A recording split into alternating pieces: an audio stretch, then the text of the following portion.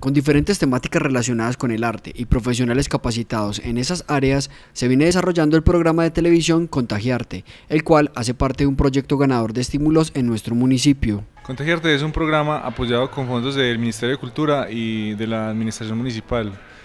Eh, tiene dos componentes, un componente de ellos es el programa de televisión que se está emitiendo por el canal Corpagua y otro componente consiste en una serie de talleres en danza, teatro, artes plásticas, dibujo, que se están dando en el parque educativo.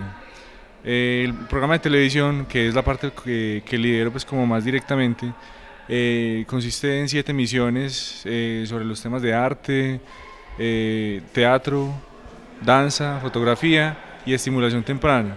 Se hace con el fin de que la comunidad tenga como un conocimiento básico ¿cierto? De, estas áreas y empiecen como a a, ahondar en, esos conocimientos.